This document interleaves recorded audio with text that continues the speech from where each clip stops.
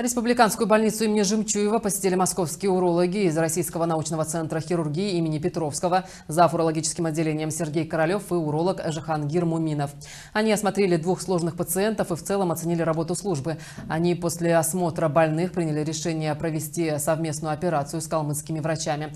По словам зав. урологическим отделением Резбольницы Валерия Сарангова, визит коллег из Федерального центра в Калмыкию первый. Специалисты центра имени Петровского оказали практическую помощь по урологии и онкологии. Стоит отметить, что в регионе высокая доля мочекаменной болезни, поэтому медики постоянно внедряют новые виды операций. Закупается оборудование.